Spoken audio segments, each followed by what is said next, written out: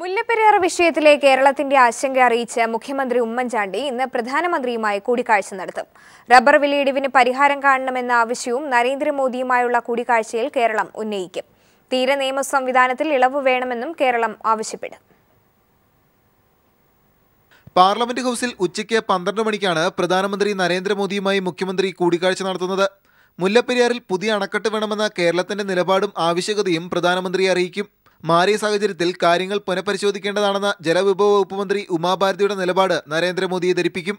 ഇക്കാര്യത്തിൽ തമിഴ്നാട് തുടരുന്ന നിഷേധാത്മക നിലപാടിലെ കേരളത്തിന്റെ ആശങ്കയും പ്രധാനമന്ത്രിയോട് ഉമ്മൻചാണ്ടി വ്യക്തമാക്കും. ഇക്കാര്യത്തിൽ കേന്ദ്രം നേരിട്ട് ഇടപെടണമെന്നാണ് കേരളത്തിന്റെ ആവശ്യം. കസ്തൂരംഗ റിപ്പോർട്ടിൽ അന്തിമ വിജ്ഞാപനം വൈകിക്കരുതെന്നും കേരളത്തിന്റെ ഭൂഘടന കണക്കിലെടുത്ത് തീര നിയമ സംവിധാനത്തിൽ ഇളവ് വേണമെന്നും കേരളം ആവശ്യപ്പെടും.